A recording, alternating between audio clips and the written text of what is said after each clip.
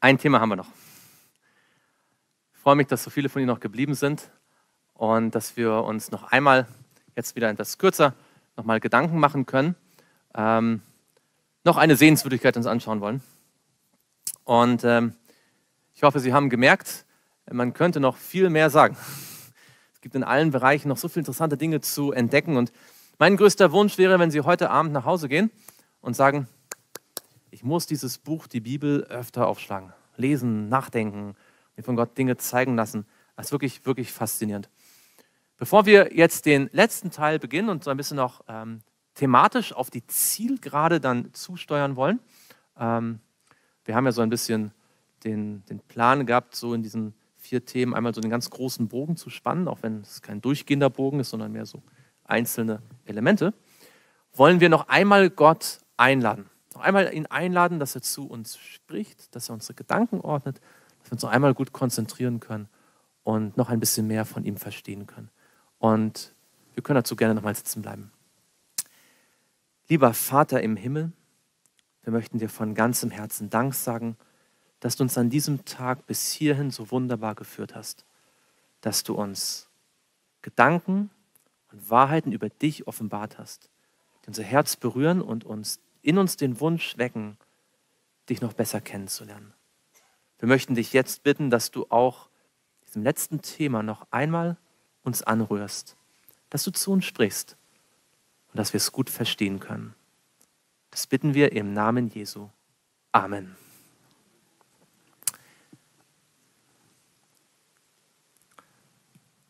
Unser letztes Thema jetzt ist die Wolke und die Erde. Ein Blick in die Zukunft der Hoffnung gibt. Wer von Ihnen, müssen Sie nicht melden, nur so eine Frage zum Nachdenken, wer von Ihnen betet gerne? Es gibt ja Menschen, denen ist das Gebet ein echtes Anliegen. Es gibt auch Menschen, die beten vielleicht selbst nicht so viel, aber sie wünschen sich manchmal, dass andere für sie beten. An Themen, für die man beten kann, mangelt es wahrscheinlich niemandem von uns. Wir alle haben, was man manchmal so nennt, Gebetsanliegen. Ja. Wir möchten, dass für unsere Familie gebetet wird oder wir beten selbst dafür. Für unsere Arbeit, für unsere Gesundheit, vielleicht für die Kirchgemeinde, in der wir sind. Es gibt viele Dinge für die Politik in der Welt, für die Lage in unserer Heimatstadt. Es gibt so viele Dinge, für die man beten kann. Wussten Sie, dass auch Jesus ein Gebetsanliegen hat? Wahrscheinlich hat er sehr viele Gebetsanliegen, aber das Gebetsanliegen Nummer eins, das möchte ich Ihnen jetzt zu Beginn dieses letzten Themas vorstellen. Und zwar kurz bevor Jesus am Kreuz von Golgatha starb, im Zusammenhang mit diesem letzten, diesem ersten eigentlich Abendmahl, diesem letzten Treffen mit seinen Jüngern, bevor sie dann zum Ölberg gegangen sind und Jesus gefangen genommen worden ist. Ähm, Im Zuge all dieser Ereignisse hat Jesus ein Gebet gesprochen, ein Gebetsanliegen formuliert, das sehr klar und deutlich ist. Als er zu seinem Vater gebetet hat, sagt er unter anderem Folgendes, Vater, ich will. Das kann man wohl wirklich als ein Gebetsanliegen bezeichnen, oder? Das ist das, was Jesus sich von Gott, dem Vater, wünscht. Sein Gebetsanliegen. Vater, ich will, dass wo ich bin, auch die bei mir sein, die du mir gegeben hast. Jesus ist nach seinem Tod und nach seiner Auferstehung in den Himmel aufgegangen, in den Himmel aufgefahren. Und sein Gebetsanliegen war, dass die Menschen, die er auf dieser Welt kennengelernt hat und die er erlöst hat, sie nicht für immer von ihm räumlich getrennt sind. Sein Gebetsanliegen war, dass diese Menschen ihn nicht nur durch das Gebet und durch das Bibelstudium und durch das gemeinsame Nachdenken über ihn und die Natur kennenlernen, sondern dass sie irgendwann auch einmal buchstäblich bei ihm sind. Ich liebe meine Frau und ab und zu bin ich äh, unterwegs, auch früher schon gewesen im Ausland. Äh, und leider ist es nicht immer so schön wie heute, dass sie mitkommen kann. Nicht wahr? Ähm, wenn ich in China gewesen bin oder in Malaysia oder so, dann konnte sie nicht immer mit. Und dann haben wir natürlich uns trotzdem geschrieben. Ja, wir haben vielleicht sogar geskypt. Also damals gab es irgendwie noch nicht Zoom, ja, damit hat man geskypt. Und das ist schön und gut. Und trotzdem erwartet man den Tag, wo man dann wieder in den Flieger steigt, wo man wieder nach Deutschland kommt, wo man abgeholt wird und wo man sich in den Arm nehmen kann. Und so geht es Jesus auch. Sein Wunsch ist nicht nur, dass wir theologisch, geistlich, emotional mit ihm verbunden sind, sondern dass wir irgendwann auch tatsächlich bei ihm sind, bei ihm wohnen. Und das ist so das große Hauptthema, über das wir heute am Ende noch nachdenken wollen. Jesus, wie gerade gesagt, ist in den Himmel aufgefahren. Die Bibel sagt, er hat die Himmel durchschritten. Und zwar dient er dort als ein großer, hoher Priester am Thron Gottes. Für uns. Wir werden gleich noch ein bisschen mehr darüber sagen. Und ebenfalls kurz bevor er gestorben ist, hat Jesus gesagt, und wenn ich hingehe und euch eine Stätte bereite, so komme ich wieder. Nun, es gibt in der Bibel Prophezeiungen, die sind in symbolischer Sprache geschrieben. Da gibt es dann Drachen und Tiere und Hörner und alles Mögliche. Es gibt in der Bibel Gleichnisse, ja, die nicht buchstäblich auszulegen sind, sondern symbolisch. Aber das hier ist keine Prophezeiung in irgendwelcher Bildersprache. Das ist kein Gleichnis, das ist keine poetische Metapher, das ist einfaches Deutsch. Ich komme wieder. So komme ich wieder. Jesus hat gesagt, dass er nicht nur das eine Mal hier auf der Erde gewesen ist, sondern dass er wiederkommen würde. Und jeder, der sich Christ nennt und jeder, der Jesus nachfolgen möchte und die Bibel ernst nimmt, sollte dementsprechend auch glauben, dass Jesus ein zweites Mal kommt, dass er wiederkommt. Und zwar warum? Es gibt einige Menschen, die glauben, dass Jesus wiederkommt, damit er diese Welt beendet. Wir werden schon sehen, die Weltgeschichte kommt an ihr Ende, wenn Jesus wiederkommt. Aber das ist nicht der Hauptgrund, warum er kommt. Er, der Hauptgrund ist auch nicht, damit er das Böse vernichtet, obwohl das dann auch ein, ein, ein Effekt sein wird seines Kommens. Der Hauptgrund der Wiederkunft Jesu, von der meiner Meinung nach in den christlichen Kirchen viel mehr gepredigt werden sollte, weil Jesus selbst das zu einem Hauptthema gemacht hat. Der Hauptgrund für die Wiederkunft Jesu ist, er möchte, dass wir bei ihm sind. Wir können also sehen, dass das Thema der Liebe Gottes buchstäblich die gesamte Bibel zu, durchzieht, vom Anfang bis zum Ende. All die verschiedenen Lehren der Bibel, was wir so Lehren nennen, ja, die verschiedenen Ideen, die verschiedenen Konzepte, fügen sich alle nahtlos ein in dieses Konzept, dass Gott uns liebt. Auch bei der Wiederkunft ist es nicht anders. Aber bevor Jesus kommt, ist die Frage, was machen wir? Und er hat, als er in den Himmel aufgefahren ist, seinen Nachfolgern, die an ihn geglaubt haben, Folgendes gesagt. So geht nun hin und macht zu Jüngern alle Völker und tauft sie auf den Namen des Vaters und des Sohnes und des Heiligen Geistes und lehrt sie alles halten, was ich euch befohlen habe. Und siehe, ich bin bei euch alle Tage bis an das Ende der Weltzeit. Jesus sagt nicht nur, ich komme wieder, macht mal irgendwie. Er sagt, auch wenn ich nicht buchstäblich, physisch bei euch sein kann, will ich doch auf eine enge Art und Weise geistlich mit euch verbunden sein. Geht hinaus und erzählt allen Menschen das, was ihr mit mir erlebt habt. Wir haben gesehen, das Volk Israel sollte ja damals einen Bund oder Gott hatte ihnen angeboten, einen Bund mit ihm zu machen, dass sie ihr besonderes, sein besonderes Eigentum sein sollten, damit sie als königliche Priester allen anderen Völkern erzählen, was sie mit Gott erlebt haben, wie er sie aus Ägypten befreit hat und wie er einen Bund mit ihnen geschlossen hat. Und das ist sozusagen die Vorlage für uns, die wir Jesus nachfolgen möchten. Auch wir sollen sozusagen königliche Priester sein, die allen Völkern erzählen, was wir mit Gott erlebt haben, wie Jesus uns gerettet hat und sie auch dazu aufrufen, Schüler zu werden. Schüler von Gott, Schüler von Jesus. Denn Jesus kommt nicht wieder, bevor nicht diese Botschaft von seiner Liebe, dass Gottes Liebe bleibt, in der ganzen Welt verkündigt wird. Denn er sagt ganz deutlich, dieses Evangelium vom Reich, also von der Königsherrschaft Gottes, angefangen von der Tatsache, dass Gottes Thron ein Thron aus Feuer ist, dass seine Herrschaft auf Liebe basiert, über all das, was Jesus uns gezeigt hat, wie er als König ist, als der Dienende, als der Liebende, als der, der bescheiden sich zurücknimmt, um anderen den Vortritt zu geben. Die Prinzipien seines Königreiches werden in der ganzen Welt verkündigt werden, zum Zeugnis für alle Heidenvölker, und dann wird das Ende kommen. Mit anderen Worten, die Verkündigung der Liebe Gottes, der ewig bleibenden Liebe Gottes, der gesetzmäßigen Liebe Gottes, hängt direkt zusammen mit der Wiederkunft. Jesus kommt wieder, wenn in der ganzen Welt bekannt gemacht worden ist, wie Gott ist und warum er so ist. In gewisser Weise könnten wir sagen, dass die Veranstaltung heute hier in gewisser Weise so ein ganz kleines Puzzleteilchen ist, genau zur Erfüllung dieses Verses. Und jeder von uns kann seinen Teil dazu beitragen. Nun, vielleicht äh, fragen Sie sich und fragen wir uns, ja, wie soll das denn funktionieren? Woran werden Menschen merken, dass wir wirklich die Botschaft haben? Es ist ja so, dass es heutzutage sehr viele Religionen gibt und äh, viele Konfessionen und dass äh, es viele Weltanschauungen gibt.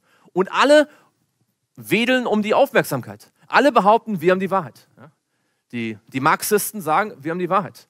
Und die, äh, die Muslime sagen, wir haben die Wahrheit. Und die Hinduisten sagen, wir haben die Wahrheit. Und Christen sagen, wir haben die Wahrheit. Und man könnte die Reihe immer so weitergehen. Jeder sagt, wir haben die Wahrheit oder wir wissen genau, wie es ist und ihr müsst jetzt so denken wie wir. Jesus hat seinen Jüngern nicht gesagt, man wird euch daran erkennen, dass ihr einfach jedes Argument widerlegen könnt. Tatsache war, es gab sogar Situationen, wo einige seiner Nachfolger konfrontiert worden sind mit Fragen, die sie nicht beantworten konnten. Dann haben sie lieber gesagt, kommt und seht, lernen Jesus kennen. Aber Jesus sagt, es gibt ein Erkennungsmerkmal, das euch von allen anderen, die so um Aufmerksamkeit heischen, unterscheiden wird. Etwas, woran jeder sehen kann, egal ob er sich in der Bibel auskennt oder nicht, das hier ist etwas wirklich Besonderes. Und dieses Zeichen steht hier. Daran wird jedermann, also nicht nur die theologisch Gebildeten, nicht nur die, die in der christlichen Kirche aufgewachsen sind, sondern jedermann. Jedermann wird erkennen, dass ihr meine Jünger seid, wenn ihr was habt. Wenn ihr Liebe untereinander habt. Das Thema von der Liebe Gottes ist nicht nur ein theologisches Thema. Es erklärt nicht nur, wie die Welt funktioniert. Es erklärt nicht nur die Weltgeschichte. Es erklärt nicht nur die, den Erlösungsplan. Es erklärt auch, wie wir wirklich effektiv Menschen zeigen können, dass sie gerettet werden können. Nur dann, wenn gläubige Menschen echte Liebe untereinander haben, wird die Welt sagen, okay, das ist wirklich anders. Denn in jeder anderen Partei, in jeder anderen Religion gibt es Meinungsverschiedenheiten, Streitigkeiten, Grabenkämpfe, Flügelkämpfe. Wehe, wenn es die bei uns gibt. Seine Liebe bleibt. Sind diejenigen, die sich auf die Fahnen geschrieben haben, das Evangelium in die ganze Welt zu tragen, eigentlich fit dafür und damit meine ich nicht muskelmäßig und auch nicht intellektuell, sondern sind sie untereinander so stark durch Liebe verbunden, dass deutlich wird, hier ist etwas anderes. Wenn ihr Liebe untereinander habt. Einer meiner Lieblingspsalmen, der ist sehr kurz, der sagt folgendes: Siehe, wie fein und wie lieblich ist, wenn Brüder in Eintracht beisammen. Eintracht ist ein altes Wort für Gemeinschaft, nicht wahr? In äh, ja, halt Eintracht, in, in, in völligem Einvernehmen, wo man liebevoll zusammen lebt und zusammen ist. Wie lieblich ist das? Und dann wird ein sehr interessantes Bild verwendet. Wie das feine Öl auf dem Haupt. Was macht denn Öl auf dem Haupt? Wer von Ihnen gießt sich jeden Morgen Öl auf den Kopf? Nee, nee. Das macht man nicht. Oder? Was, was macht Öl auf dem Kopf? Wann kommt Öl auf den Kopf? Bei der Salbung. Und das also man konnte ja beim Charles nicht sehen, wie das da so, also vielleicht haben die es ihm nur so rangetupft, aber eigentlich im Alten Testament, da kam das Öl auf den Kopf und dann ging das so an dem, an dem, an dem Gesicht entlang und tropfte und ging in den Bart, nicht wahr? Äh, hier steht er, ne? Das herabfließt in den Bart, den Bart Aarons und dann, dann fließt das so herab und fließt auf die Kleider und dann tropft das. Und wo tropft das dann hin nach den Gesetzen der Schwerkraft, die wir heute schon kennengelernt haben? Auf den Boden, oder? Das ist eine Salbung. Nun, hier steht Aaron. Aaron war nie ein König. Weiß jemand zufällig, wer Aaron war? War Aaron ein König? Nein, das war nicht. Er war ein Priester. Denn in der Bibel wurden nicht nur die Könige gesalbt, es wurden auch die Priester gesalbt. Das heißt, die, die im Heiligtum, im Zelt Gottes, und im Tempel dienten. Und auch zum Teil Propheten. Ja? Könige, Priester und Propheten. Und hier wird quasi die Salbung eines hohen Priesters beschrieben. Oh, ähm, mit diesem interessanten Bild. Das Öl fließt herab. Nun, und dann heißt es, ähm, wie der Tau des Hermon, der herabfließt auf die Berge Zions, denn dort hat der Herr den Segen verheißen. Weiß jemand, welche Stadt auf den Bergen Zions liegt? Hm? Welche Stadt liegt auf den Bergen Zions? Jerusalem, ganz genau. Also die Idee in diesem Vers ist ganz interessant, in diesen drei Versen. Wenn Brüder, also Geschwister, wenn, wenn, wenn Menschen einträchtig zusammen sind, keinen Streit mehr haben, die Liebe untereinander haben, dann ist das so, als wenn ein Priester gesalbt wird und das Öl fließt an ihm herab und dann tropft das auf die Erde und zwar auf die Berge. Dann ist das hier wie bei den Bergen Jerusalems, denn in Jerusalem hat Gott den Segen verheißen. Kommen wir gleich darauf zurück, was das zu bedeuten hat. Bevor Jesus in den Himmel aufgefahren ist, hat er nämlich seinen Jüngern explizit gesagt, geht nirgendwo sonst hin, sondern bleibt genau hier in Jerusalem. Ihr sollt nicht nach Galiläa gehen, nicht nach Nazareth, sie sollten in Jerusalem bleiben bis zu einem bestimmten Punkt.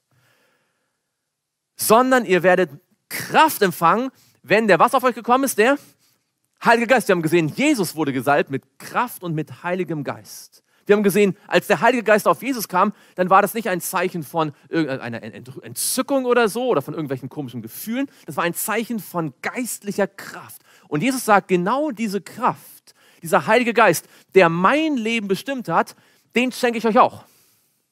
Ihr könnt quasi Mitgesalbte sein. Mitkönige. Mitpriester. Deswegen sagt die Bibel übrigens, dass durch das Blut Jesu wir zu Königen und Priestern werden. Ihr könnt teilhaben sozusagen. Ihr werdet meine Zeugen sein in Jerusalem und in ganz Judäa und Samaria und bis an das Ende der Welt. Wir haben gesehen, wenn das Evangelium ans Ende der Welt gekommen ist, wenn es gepredigt wird in allen Völkern, Nationen, Stämmen und Sprachen, dann kommt Jesus wieder.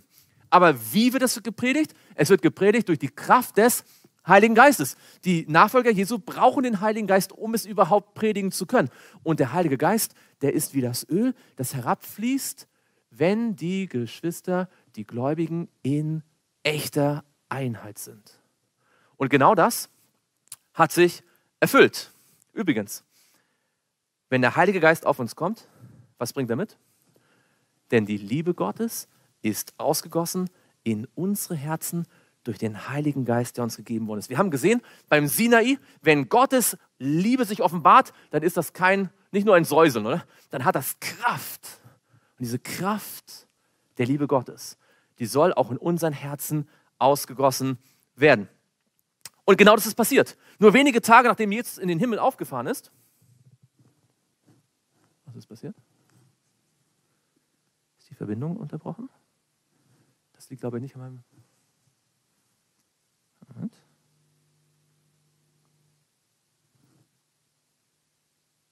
Wenn jemand von der Technik eine gute Idee hat, möge er sich jetzt melden, weil das Signal weg ist.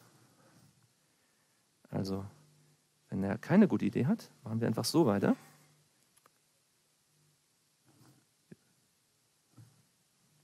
Ich meine nichts gemacht zu haben.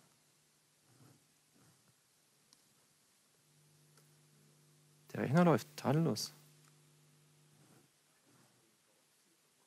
Genau das habe ich gemacht finde das Signal nicht.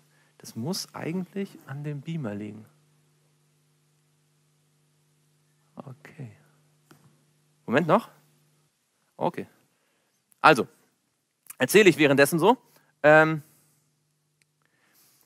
als Pfingsten war, also wenige Tage nachdem Jesus, ah, super, Dankeschön. Als, bevor, also wenige Tage nachdem Jesus in den Himmel aufgefahren ist, da waren da ist etwas ganz, etwas passiert, was es in den nächsten 2000 Jahren Menschen, äh, Kirchengeschichte nicht mehr oft gegeben hat. Alle Gläubige waren ein Herz und einer Seele.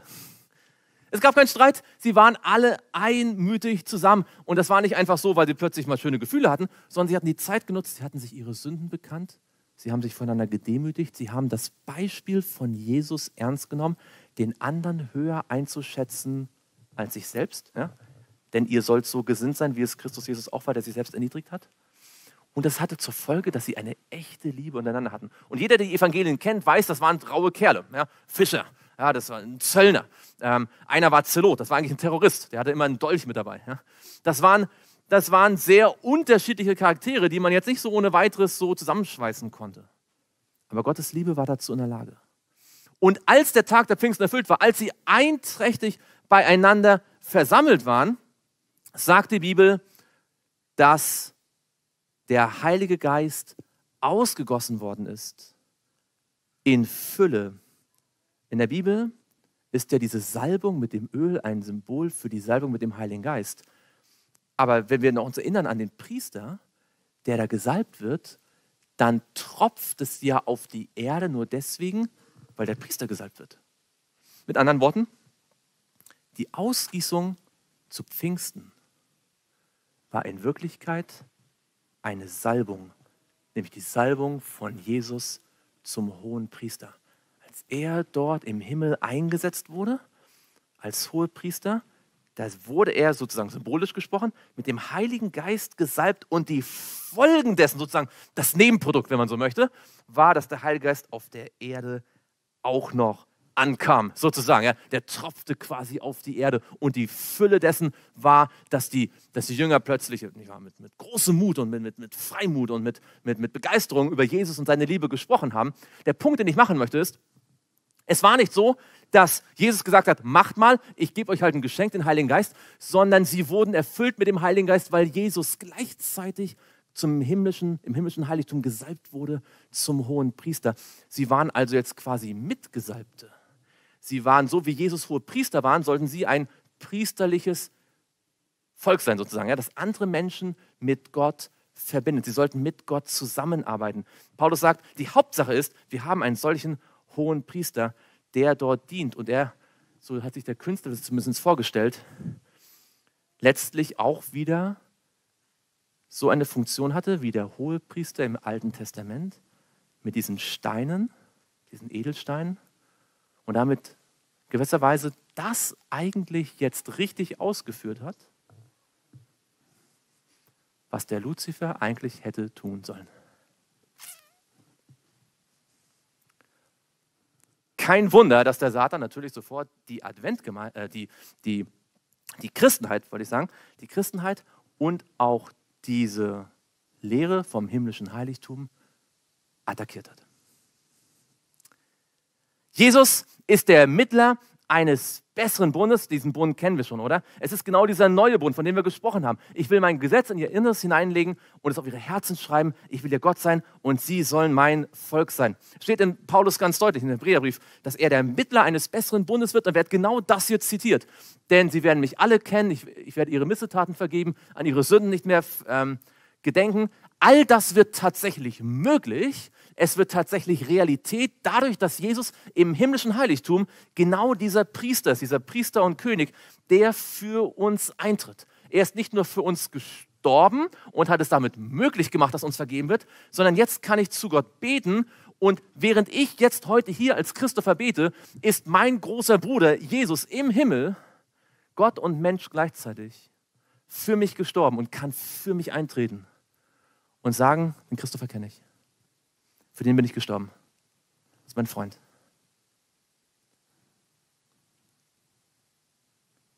Ein neuer Bund. An anderer Stelle heißt es, ich werde meinen Geist in euer Inneres legen und werde bewirken, dass ihr in meinen Satzungen bewandelt und meine Rechtsbestimmungen befolgt und tut. Gott weiß ja, dass wir aus eigener Kraft ihm gar nicht gehorchen können. Es ist nie so gewesen, dass Gott gesagt hat, hier sind meine Gesetze, jetzt mach mal.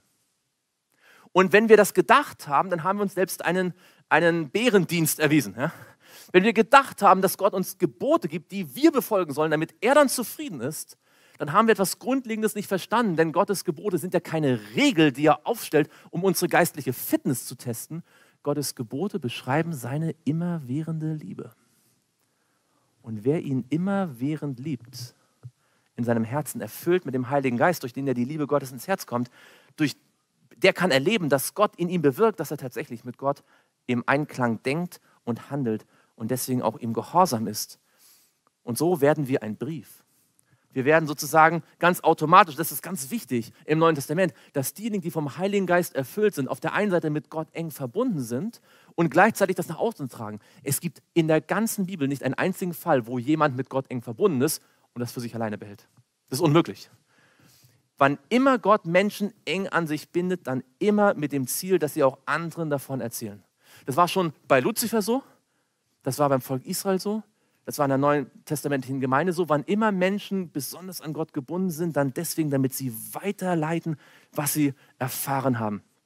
Ihr seid ein Brief des Christus, durch unseren Dienst ausgefertigt, geschrieben nicht mit Tinte, sondern mit dem Geist des lebendigen Gottes. Nicht auf steinerne Tafeln, sondern auf fleischende Tafeln des Herzens. Lieber Freund, liebe Freundin, wenn Menschen deinen, dein Leben lesen, deinen Brief, was lesen sie? Lesen sie von der Liebe Gottes? Lesen die Menschen, wenn sie, wenn sie meinen Alltag sehen, lesen sie davon, dass Gott immer gut ist? Am Ende kann man eigentlich all das, was das Neue Testament sagen möchte, das ist natürlich jetzt sehr vereinfacht, aber man kann es letztlich darauf zurückführen, dass wir mit Gott so verbunden sein sollten, dass unser Leben, unsere Worte, unsere Taten, unser Denken Zeugnis davon geben, dass Gott wirklich ein guter König ist, dass er die Liebe ist, dass seine Liebe bleibt. Diese Worte, die ich dir heute gebiete, hatte schon Mose gesagt, sollst du auf dem Herzen tragen. Und wie sieht das praktisch aus? Vielleicht fragt sich jemand, ja, aber was, was heißt das jetzt praktisch? Hier ist eine ganz praktische Anleitung. Oder, was heißt Anleitung? Eher eine Beschreibung, wie das ist, wenn man Gott von Herzen liebt. Du sollst sie deinen Kindern einschärfen, davon reden, wenn du in deinem Haus sitzt oder auf dem Weg gehst, wenn du dich niederlegst oder wenn du aufstehst. Wovon reden Menschen, die äh, Fans des VfL Wolfsburg sind? Ich weiß nicht, ob es jemand ein Fan vom VfL Wolfsburg gibt. Ja, muss sich jemand outen oder vielleicht gibt es auch Leute, die sich dazu bekennen. Aber wenn jemand so ein richtiger Fußballfan ist und den VfL Wolfsburg liebt, wovon redet er? Der redet, egal ob er aufsteht oder zu Bett geht, egal, äh, den, man sieht es ihm ja sogar förmlich an, sogar an seiner Kleidung kann man sehen, ich bin ein Fan des VfL Wolfsburg, oder? Wenn jemand ein Hip-Hop-Fan ist und immer nur Hip-Hop hört, er wird von Hip-Hop reden, er wird, von, er wird aussehen wie die Leute die in den Hip-Hop-Videos, oder? Das, womit wir uns beschäftigen, was wir wirklich lieben, das zeigt sich in unserem Leben. Das ist jetzt mal so ein Praxistest, okay? Nicht, nicht, nicht melden, nicht antworten. Aber wenn du zu Hause duscht, denkst du manchmal über die Bibel nach? Das steht da. Also da steht nicht duschen, ich weiß, aber das steht da. Ne? Wenn man sich niederlegt, wenn man einschläft, wenn man aufsteht, wenn man zur Uni geht, wenn man äh, die Möhren schnibbelt für den Salat. Nicht, dass wir nicht was anderes denken dürfen, das ist keine Frage, nicht wahr? Aber was hier steht, ist, ein Mensch, der Gott liebt, der Gottes Wort liebt, der wird automatisch oft daran denken. Und ich glaube ganz ehrlich, ohne irgendjemandem von uns zu nahe treten zu wollen, ich glaube, das allergrößte Problem im christlichen Leben von fast allen Christen ist, dass entgegen unserer eigenen Selbstwahrnehmung wir Gott nicht so sehr lieben, wie wir eigentlich sagen, dass wir ihn lieben. Ich frage ein letztes Mal heute alle, an alle, die schon mal verliebt waren in ihrem Leben. Wie oft musstet ihr euch daran erinnern, an euren Geliebten zu denken? Oh, es sind schon wieder sechs Tage vergangen. Heute müsste ich mal wieder an meinen Geliebten denken. Heute Morgen habe ich mal zehn Minuten an ihn gedacht. Jetzt heute Abend sollten auch noch mal 15 Minuten drin sein. ich lege mal kurz den Fernseher weg. Ich denke, ja. Nein, wenn jemand verliebt ist, dann denkt er ihn, nicht wahr? An, an, ob, er, ob er Zähne putzt, ob er, ob er im Bus fährt, ob er automatisch, oder? Und so ein bisschen, glaube ich, ist das ein, ein Mittel, um uns, oder ein, ein, Gedanke, um uns verständlich zu machen, was Gott sich eigentlich wirklich wünscht. Denn wenn wir an ihn nach, über nachdenken, wenn, wenn, wenn wir uns für ihn interessieren, dann werden wir selbstverständlich viel mehr auch handeln, wie er es sich wünscht, oder? Und dann heißt es hier weiter, ah, hier, genau, das habe ich noch vergessen zu sagen. Ähm, aus irgendeinem Grund, ja, genau. Ähm, hier, bei diesen, bei diesen äh, Worten hier, das habe ich vergessen zu sagen, ähm, da geht es im Kontext von 5. Mose, geht es um die zehn Gebote. In 5. Mose 5 werden die Gebote wiederholt und dann sagt er diese Worte. Dieser Bund, von dem wir heute Vormittag gehört haben, nicht wahr? Diese zehn Worte, das ewig bleibende Gesetz der Liebe Gottes, das sollst du auf dem Herzen tragen. Und deswegen gibt es einen interessanten Satz in der Bibel, da heißt es nämlich, binde das Zeugnis zusammen, versiegle das Gesetz in meinen Jüngern. Mit anderen Worten, das Gesetz soll so fest werden, wie dass man ein Siegel drauf tut, dass man es nicht mehr, nicht mehr verändern kann. Und das wird hier auch angedeutet. Du sollst sie zum Zeichen auf deine Hand binden und sie sollen dir zum Erinnerungszeichen über den Augen sein. Ähm, was haben Sie über den Augen? Stirn, oder? Hier an der Stirn. Die Worte Gottes, das Gesetz Gottes soll an der Stirn sein und natürlich jetzt nicht einfach eintätowiert hier oder so, sondern sie sollen in unserem Denken sein. Und zwar als ein Erinnerungszeichen. Die Idee ist dabei, dass wir uns an Gottes Worte immer wieder erinnern sollen, immer wieder daran denken sollen. Du sollst sie auf die Pfosten deines Hauses schreiben oder deine Tore. So wie wir das mit, den, mit dem Blut gesehen haben. Ja, das Blut an den Torpfosten immer wieder darüber nachdenken, sich öffentlich dazu bekennen. Das mit dem Erinnern ist eine interessante Sache. Ich will das kurz mal äh, ausführen. In der Bibel finden wir immer wieder diese folgende Idee. Ich will euch aber daran erinnern, obgleich ihr dies ja schon wisst. Warum würde man jemanden an etwas erinnern, was er schon weiß? Der Judas sagt, ich will euch an etwas erinnern, was ihr schon wisst. Warum würde man jemanden an etwas erinnern, was er schon weiß? Na, vielleicht hat er es vergessen, oder? Aber er sagt ja hier, ihr wisst es ja. An anderer Stelle heißt es sogar, darum will ich es nicht versäumen, euch stets an diese Dinge zu erinnern, obwohl ihr sie kennt und in der bei euch vorhandenen Wahrheit fest gegründet seid. Okay, jetzt wird es interessant. Der Petrus sagt, ich predige euch eine Predigt, die kennt ihr schon, ihr habt sie schon gehört, ihr glaubt sie, ihr kennt sie, ihr wisst sie gut und trotzdem wiederhole ich sie. Hat jemand das schon mal erlebt, von allen, die vielleicht öfter mal in eine Kirchgemeinde gehen, ähm, dass man eine Predigt zum zweiten Mal gehört hat? Dass der Prediger äh, mal vorbeikam und nicht gewusst hat, dass er die Predigt schon mal in der Gemeinde gehalten hat. Dann hört man sie ein zweites Mal. Was macht das Gehirn? Nach fünf Minuten, wenn man es merkt? Hm, kenne ich schon, ja, mache ich was anderes. Wir sind eher so, dass wir immer was Neues hören wollen. Ja? Etwas, was ich noch nicht gehört habe, etwas Spannendes, was, ich noch, noch, noch, was, was mir noch nie in den Sinn gekommen ist. Das finden wir spannend. Aber interessanterweise funktioniert Gott auf eine andere Art und Weise. Er wiederholt die Dinge immer. Ist Ihnen schon mal aufgefallen, wenn Sie mal die Bibel durchgelesen haben, dann ist Ihnen aufgefallen, dass viele Dinge sich wiederholen, oder? Man liest Matthäus, dann liest man Markus, da kommt fast das Gleiche vor. Dann kommt Lukas, kommt wieder fast das Gleiche vor. Ja? Man fragt sich, ähm, hätte es nicht auch andere Geschichten gegeben? Und dann kommt Johannes und sagt, es hätte noch tausend andere Geschichten gegeben. Ja? Und dann fragt man sich, ja, Moment mal, aber warum wird das immer wiederholt? Wenn sich alles andere vergessen, was ich heute Nachmittag hier in der vierten Stunde gesagt habe, merken Sie sich diesen Satz. Wahrheit verändert uns nur, wenn sie unsere Aufmerksamkeit hat. Ich gebe Ihnen ein Beispiel. Nur so, um das zu illustrieren wenn ich Sie morgen früh um 9 Uhr morgens anrufe und Sie frage, haben Sie Jesus lieb? Was würden Sie antworten? Keiner würde was antworten? Also, was würden Sie antworten, wenn ich sage, haben Sie Jesus lieb? Ja, okay. Puh. Gut. Jetzt nehmen wir an, rein, rein konstruiertes Beispiel, ja, völlig fern der Realität, aber rein konstruiertes Beispiel. Sie würden danach zehn Stunden lang sich im Fernsehen einfach Quatsch anschauen, Schrott anschauen, nee, dummes Zeug, was keinen weiteren Wert hat. Und nach zehn Stunden, um 19 Uhr, rufe ich Sie ein zweites Mal und frage Sie, hast du Jesus lieb? Was würden Sie antworten? Ja, natürlich. Aber hat diese Gewissheit, dass Gott mich liebt und ich ihn liebe, Sie an diesem Tag verändert? Nein. Es war zwar ein Wissen, es ist eine Realität, ich weiß, Gott hat mich lieb, ich habe ihn lieb, aber ich habe mich zehn Stunden lang damit nicht beschäftigt. Für uns ist oft der Glaube so, dass wir bereit sind, wenn uns jemand antippen würde auf der Straße, glaubst du, dass Gott dich liebt? Ah ja, ja, das glaube ich, natürlich, ja, aber selbstverständlich. Aber das verändert uns nicht. Was uns verändert, ist das, woran wir denken, womit wir uns beschäftigen, was unser Denken erfüllt. Das verändert uns.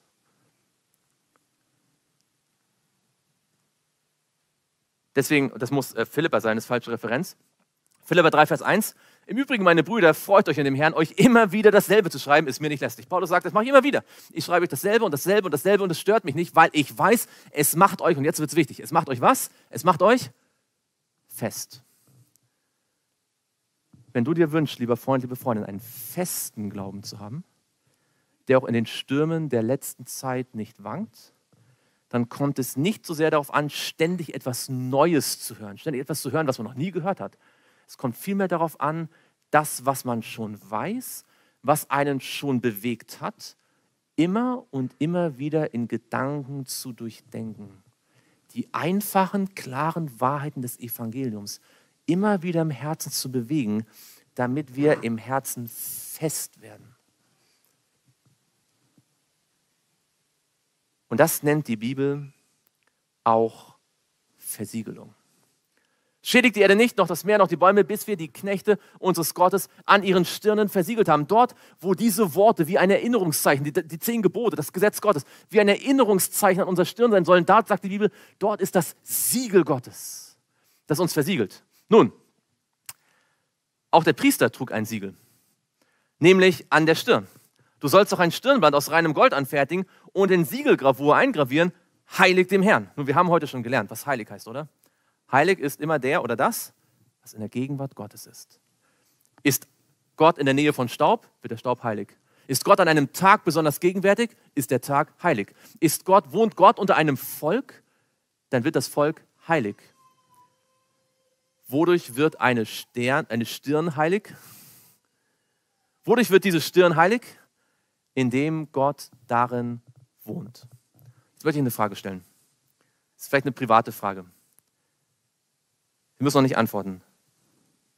Wohnt Gott in Ihrem Herzen oder ist er nur ein gern gesehener Gast? Wohnt er dort oder darf er immer wieder zu Besuch kommen? Ich denke, wir alle kennen den Unterschied. Es gibt Leute, Menschen, die bringen wir gerne zu, die laden wir gerne ein. Wir freuen uns, wenn die da sind, aber nach drei Tagen freut man sich auch wieder, wenn sie gehen, oder? Dann möchte man wieder für sich sein. Es macht einen himmelweiten Unterschied, ob man jemanden für eine Woche aufnimmt oder für den Rest des Lebens. Und die Frage ist, wohnt Gott in unserem Herzen oder ist er nur oft gesehener Gast? Hat er dort das Wohnrecht? Und das hat mit diesem großen Thema der Versiegelung zu tun. Eines dieser Themen der, wie man so sagt, der Endzeit. Und interessanterweise steht in der Offenbarung, dass genau dort an der Stirn, wo das Siegel Gottes ist, dort, wo das Gesetz Gottes sich verfestigen soll, dort, wo Gott wohnen soll, sein Name geschrieben steht. Und wo ist Gottes Name? In 5. Mose steht, wo Gott seinen Namen hinsetzt, dort wohnt er. Das Heiligtum, also es gibt ja seine Formulierung, Gott hat seinen Namen dorthin gesetzt. Das wohnt er jetzt.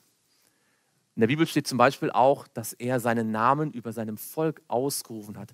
Das, das würde jetzt zu weit führen, aber ich persönlich bin zur Überzeugung gekommen, dass das der Name Israel selbst ein Name von Jesus ist und dass die Israeliten deswegen Israeliten hießen, weil sie so eng mit dem Sohn Gottes verbunden waren. Sie wurden buchstäblich nach seinem Namen genannt. Wir kennen das heute auch noch, oder? Wenn man heiratet, dann nimmt die Frau den Namen des Mannes an. Und das ist so ein bisschen die Idee. Dann wird eine Frau mit dem Namen des Mannes genannt, weil sie so eng verbunden sind. Sie trugen den Namen des Vaters an ihrer Stirn, das Siegel. Ah, da muss ich noch eine Sache fragen. Wenn also das Gesetz Gottes an unserer Stirn versiegelt werden soll, und wenn diese Versiegelung damit zu tun hat, dass wir uns an die einfachen Dinge des Evangeliums erinnern. Und wenn das Evangelium, wenn die Versiegelung damit etwas zu tun hat, dass wir heilig sein sollen für Gott, dass Gott in unserem Denken wohnt. Und wenn sie damit etwas zu tun hat, dass sein Name das, dann gibt es ein Gebot im Gesetz Gottes, in dem die Idee des Erinnerns, die Idee der Heiligkeit und die Idee des Namens Gottes in einem Gebot verbunden ist, nämlich das vierte Gebot, der Sabbat. Das heißt, gedenke an den Sabbattag und heilige ihn. Ein Tag, an dem wir uns erinnern sollen an die einfachen Wahrheiten der Schöpfung und der Erlösung und der Heiligung. Ein Tag, an dem Gott besonders gegenwärtig ist und ein Tag, der in, den, in der Formulierung des Gebotes besonders mit seinem Namen und mit seiner Identität in Verbindung steht. Der Sabbat ist also nicht einfach nur ein interessanter Tag. Der Sabbat ist ein Tag, der sozusagen als Zeichen uns erklärt, wie Gottes Liebe in uns bleibt. Und zwar so sehr, dass wir irgendwann nicht mehr von ihr abweichen und für alle Ewigkeit bei ihm sein können, weil wir nicht mehr auf die Idee kommen werden, gegen ihn zu rebellieren. Der Sabbat ist also quasi wie eine wöchentliches Erinnerung, ein, ein Training sozusagen, eine Möglichkeit, immer wieder neu sich daran zu erinnern, wie Gott uns in seiner Liebe festmacht. Durch die Erinnerung, durch das er in uns wohnt. Jeder Sabbat ist sozusagen ein Zeichen, wie die Bibel sagen würde, dass er uns heiligt. Und da kommen wir jetzt wieder zu Hohelied. Setze mich, setze mich wie ein Siegel auf dein Herz. Für alle, die sich schon ein bisschen ausführlicher und intensiver mit diesem Thema beschäftigt haben, hier ein Satz dazu. Die Versiegelung in der Endzeit bedeutet nicht, dass ich einfach einen richtigen Tag halte. Kein Mensch wird versiegelt, weil er den Kalender richtig lesen konnte. Sondern der Sabbat als äußeres Zeichen ist eben ein Zeichen, dass wir Jesus selbst wie ein Siegel in unserem Herzen tragen und wie ein Siegel an unserem Arm. Das heißt, dass wir uns gerne, wie wir es von gelesen haben, auch im Alltag mit ihm beschäftigen, an ihn denken, über seine Worte nachdenken, ihn lieben, dass er bei uns wohnen darf, nicht wahr? Heilig, erinnere dich, Heiligung, dass sein Name über uns ausgerufen ist, dass wir zu ihm gehören. All das symbolisiert das Siegel. Manchmal wird über das Siegel Gottes gesprochen, als wäre das einfach nur ein trockenes Endzeitthema. Ja? Und Leute kriegen die Panik. Ja, werde ich versiegelt, werde ich nicht versiegelt. Ja. In Wirklichkeit ist das Siegel Gottes buchstäblich die Versiegelung der Idee, dass Gott die Liebe ist und zwar für immer. Nämlich dahingehend, dass seine ewig bleibende Liebe bewirkt, dass wir durch seinen Geist auch eine ewig bleibende Liebe für ihn entwickeln. Und wenn das der Fall ist, wenn unsere Liebe zu ihm so beständig ist wie seine Liebe zu uns, dann gibt es keinen Grund, uns nicht in den Himmel zu nehmen. Das ist der größte Wunsch von Gott. Und deswegen ist das Thema auf der, der Liebe Gottes auf der einen Seite das A, der allererste Urgrund, das allereinfachste und gleichzeitig auch das große Abschlussziel. Man kann kein tieferes Thema, kein für die Endzeit relevanteres Thema studieren als die Frage, das Thema von der Liebe Gottes. Mache dich auf, werde Licht, denn dein Licht kommt und die Herrlichkeit des Herrn geht auf über dir. Wenn wir, je mehr wir je näher wir zu Gott kommen, je mehr wir mit Gott in Verbindung sind, desto heller leuchten wir, nicht wahr? Wir haben das gesehen beim Luzifer, bevor er gefallen ist. Je näher er am Thron Gottes war, je näher er mit dem Gesetz Gottes verbunden war, je näher er den Charakter Gottes der ewigen Liebe studiert hat, desto mehr hat er geleuchtet. Als er sich davon getrennt hat, wurde er zum Feind. Als er sich davon getrennt hat, wurde er zum Fürst der Finsternis. Je mehr wir uns mit Gott beschäftigen, desto mehr werden wir leuchten. Jesus sagte, ich bin das Licht der Welt. Und dann sagt er zu den Jüngern, ihr seid das Licht der Welt. Und so werden wir die Aufgabe haben, bis ans Ende, die Erde immer mehr zu erleuchten. Die Bibel sagt, die Erde wurde erleuchtet von seiner Herrlichkeit und dreimal dürfen sie raten, wem das nicht gefällt. Und so wie der Satan Adam und Eva attackiert hat und so wie er das Volk Israel in der Wüste und dann in, in das Volk Israel im Alten Testament attackiert hat, so wie er die neutestamentliche Gemeinde attackiert hat, so attackiert er auch am Ende Gottes Volk nicht einfach, weil sie mehr wissen, er attackiert Gottes Volk nicht, weil sie die Klügsten sind. Er attackiert dann Gottes Gemeinde, wenn sich darin die ewig bleibende Liebe Gottes wirklich manifestiert. Das will er verhindern. Und der Drache wurde zornig über die Frau und ging hin, Krieg zu führen mit den übrigen von ihrem Samen, welche die Gebote Gottes befolgen. Nicht wahr? Das Gesetz Gottes. Und das Zeugnis Jesu Christi haben. Diese werden mit dem Lamm Krieg führen, das heißt mit Jesus selbst in der Form seiner Gemeinde. Und das Lamm wird sie besiegen und es ist der Herr der Herren, der König der Könige. Wenn die Menschen, die Gott nachfolgen, in dieser Welt angegriffen, verfolgt, befehdet, mit Krieg bedroht werden, sozusagen, wird Jesus eingreifen und er wird sie zu sich holen. Alle, die zu ihm gehören wollen, die zu seinem Königreich gehören wollen. Wenn das Königreich Gottes verkündigt worden ist und jeder, der sagen möchte, ich möchte Teil des Königreiches Gottes sein, wenn jeder, der es sein möchte, sich dafür entschieden hat, kommt Jesus wieder. Die Bibel sagt, er kommt mit den Wolken des Himmels. Jedes Auge wird ihn sehen. Wir werden nicht alle Texte lesen, die es dazu gibt. Aber sie sagt, er wird in der Herrlichkeit seines Vaters mit seinen Engeln kommen. Die Toten in Christus werden zuerst auferstehen. Und dann werden wir die wir übrig bleiben, entrückt werden. Wir werden verwandelt werden, entrückt werden und bei ihm bleiben und bei ihm sein. Genau das, was Jesus sich gewünscht hat, was sein Gebetsanliegen von Anfang an gewesen ist. Und dann sagt die Bibel, werden wir tausend Jahre lang im Himmel bei Jesus, tausend Jahre mit ihm regieren, als Mitkönige und als Mitpriester. Dann werden alle, die sich für Jesus entschieden haben, leben. Die, die damals bei der Wiederkunft dann lebendig gewesen sind und alle, die tot gewesen sind. Sie sind alle auferstanden. Alle, die sich jemals für Jesus entschieden haben, werden alle lebendig sein. Währenddessen wird auf der Erde der Satan sein und alle, die sich für ihn entschieden haben. Und zwar alle tot. Die Bibel sagt, die Erde war wüst und leer. Tohu Wabohu, vielleicht erinnern Sie sich, ganz am Anfang. Das Licht war verschwunden, also Finsternis. Ich schaute die Berge an, doch siehe, sie erbebten und alle Hügel schwankten. Ich schaute und siehe, da war kein Mensch mehr und alle Vögel des Himmels waren verschwunden. Und in diesem Moment wird das gesamte Universum verstehen.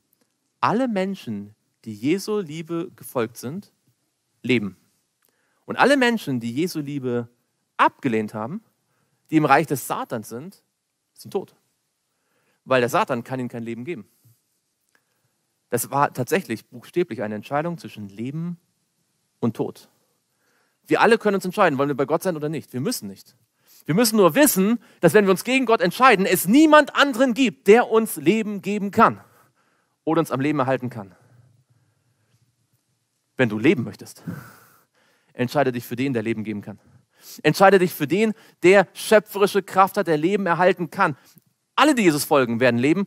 Alle, die Satan gefolgt sind, sind tot. Satan ist dann buchstäblich ein König über Tote.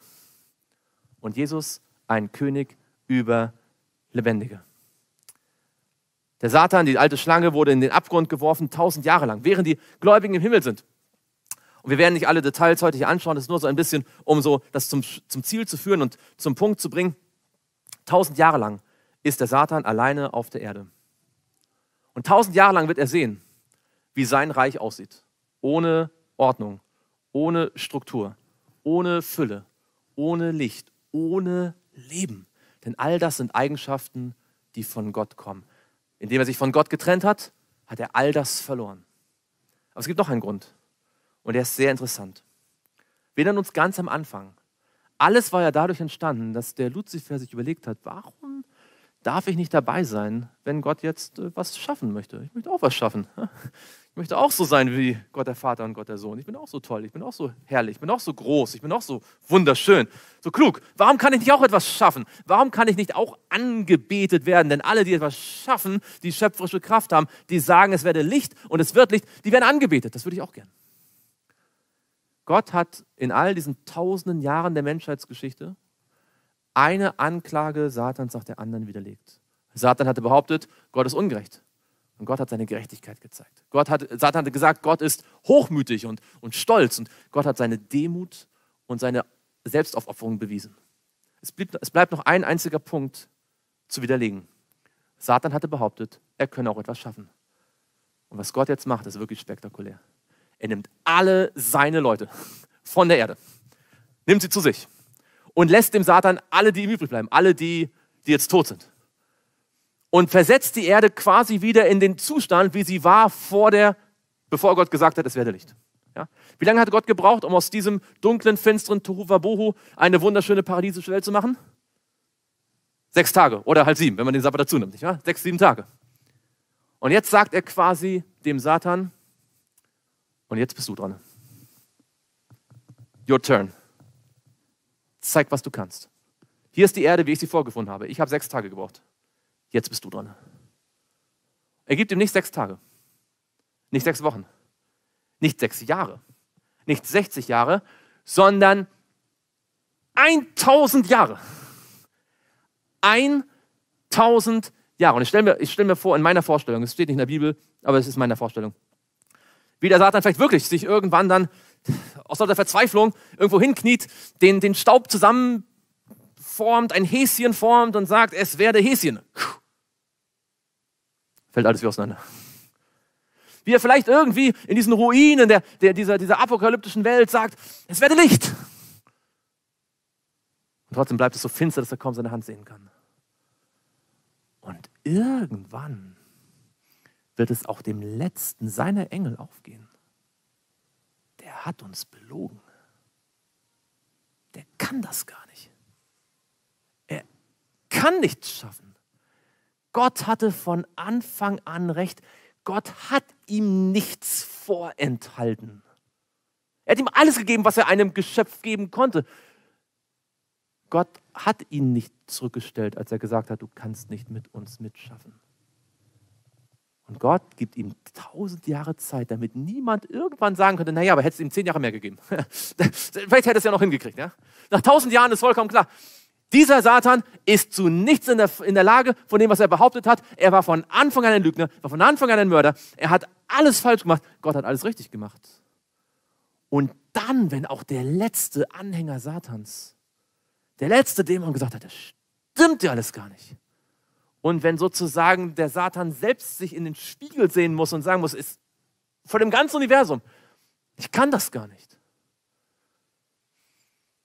dann sind das eine gute und eine traurige Nachricht. Eine gute Nachricht in dem Sinne, dass es jetzt zu Ende gehen kann. Und eine traurige, weil deutlich wurde, es hätte nie anfangen müssen.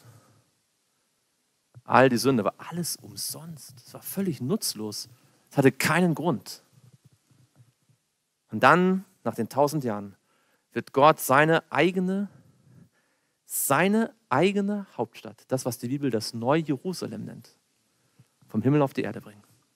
Wir haben gesehen, wie Gott den Garten Eden auf die Erde brachte, nicht wahr, bei Adam und Eva. Wir haben gesehen, wie Gott beim Volk Israel sein Heiligtum hat bauen lassen, um so seine Wohnung auf die Erde zu bringen. Wir haben gesehen, wie Jesus auf die Erde kam als Mensch, wie Gott Mensch wurde und damit den Himmel auf die Erde brachte. Man kann die Bibel eigentlich lesen wie ein mehrteiliges Drama, in dem Gott ständig den Himmel auf die Erde bringt. Und ganz am Ende bringt er dann in einem physischen Sinne wirklich die Zentrale des Himmels auf die Erde. Und zwar für immer. Für alle Ewigkeit. Denn seine Liebe bleibt.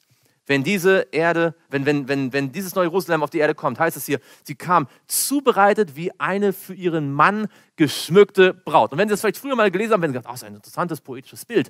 Aber wenn Sie heute ein bisschen zugehört haben, dann merken Sie, das ist das große Thema, das sich durchzieht. Nicht wahr? Von Anfang an. Es ist immer ein Ehevertrag. Es ist immer eine Bindung. Es ist immer ein, ein, ein, ein, ein Heiratsantrag. Es ist immer der Wunsch. Dieses Bild von der Ehe, von der Verbindung, von der, von der Liebe, von der Freundschaft zieht sich durch die Bibel bis ganz ans Ende. Selbst das, was auf der neuen Erde sein wird, ist immer in diesen Begriffen der Liebe, der Freundschaft, des Bleibens zusammen ausgedrückt wie eine für ihren Mann geschmückte Braut.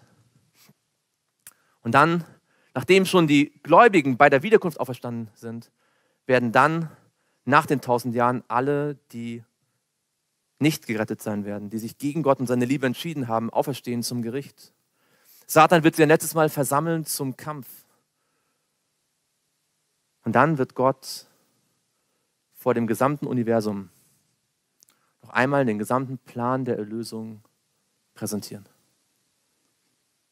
Dann wird der Moment sein, auf den Gott seit Jahrtausenden gewartet hat. Zu diesem Zeitpunkt ist der einzige Zeitpunkt in der gesamten Geschichte des Universums, zu dem zum ersten und zum einzigsten Mal alle jemals existierenden intelligenten Wesen gleichzeitig lebendig sind. Alle, die jemals gegen Gott rebelliert haben, alle, die jemals mit Gott zusammengearbeitet haben, alle sind gleichzeitig am selben Ort, zur selben Zeit. Und Gott wird ihnen noch einmal alles zeigen, was er im großen Kampf getan hat. Und dann, sagt die Bibel, und dann,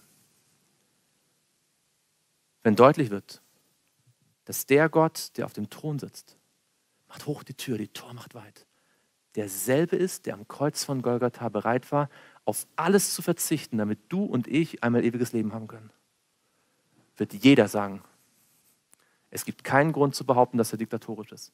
Es gibt keinen Grund zu behaupten, dass er sich selbst erhöht. Es gibt keinen Grund, ihm irgendetwas vorzuwerfen. Er ist wirklich der beste König, den man sich vorstellen kann. Denn heißt es, damit in dem Namen Jesus sich alle Knie derer beugen, die im Himmel und auf Erden und unter der Erde sind und alle Zungen bekennen, dass Jesus Christus der Herr ist. Sogar der Satan, ohne Gott zu lieben, wird anerkennen, dass er alles verkehrt gemacht hat und dass Jesus alles richtig gemacht hat. Er wird sich beugen. Ich weiß nicht, ob er sich dann daran erinnern wird, wie er früher einmal, ganz am Anfang, als seine ersten Zweifel kamen, sich auch gebeugt hat, Gott gelobt hat und darüber nachgedacht hat, ist Gott wirklich die Liebe? Ist das nicht? Als seine ersten Kämpfe begannen. Und er die Möglichkeit gehabt hätte, einfach Gott zu glauben.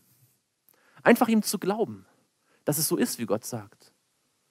Und vielleicht wird ihm dann aufgehen, wenn ich ihm geglaubt hätte, dann wäre das alles nicht passiert. Es wäre alles nicht passiert. Jetzt ist alles klar.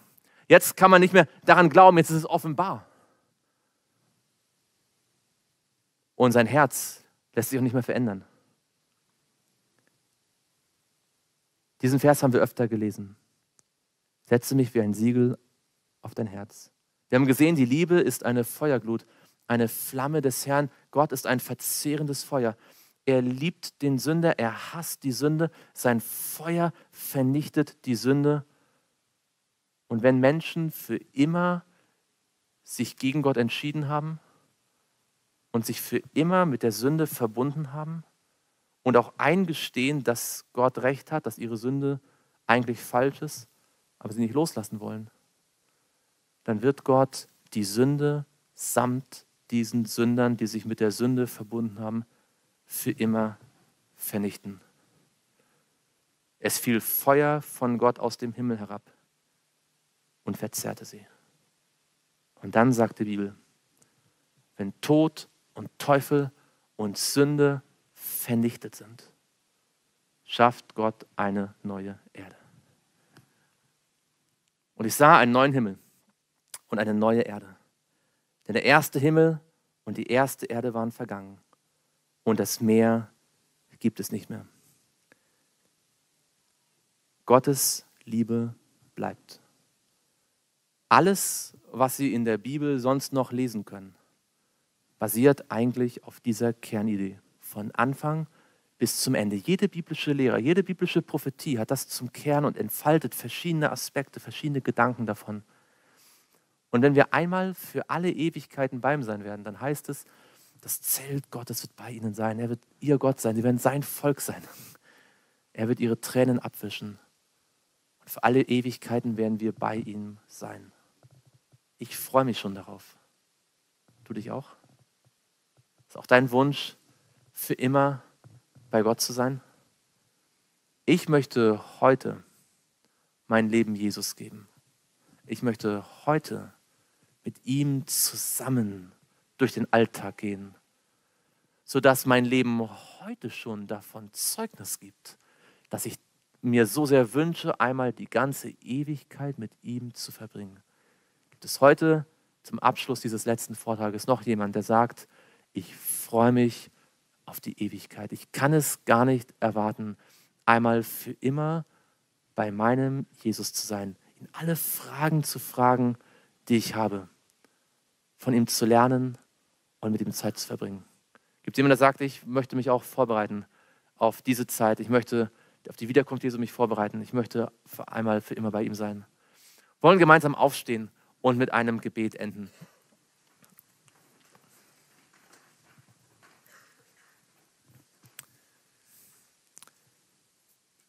Lieber Vater im Himmel, wir möchten dir von ganzem Herzen Dank sagen. Danke, dass du uns lieb hast und dass wir sehen können, wie das Thema deiner Liebe durch die gesamte Bibel sich ja, hindurch, hindurch zu finden ist. Wir danken dir, dass du heute zu unseren Herzen gesprochen hast. Herr, wir haben viele Gedanken durchdacht. Und wir werden uns vielleicht nicht alles merken können. Aber wir können uns heute merken, dass du uns mehr lieb hast als dich selbst und dass du dir wünschst, dass wir dich auch lieb haben. Herr, das, das können wir nicht erzeugen, aber je mehr wir dich anschauen, je mehr wir Zeit mit dir verbringen, desto größer wird unsere Liebe zu dir werden.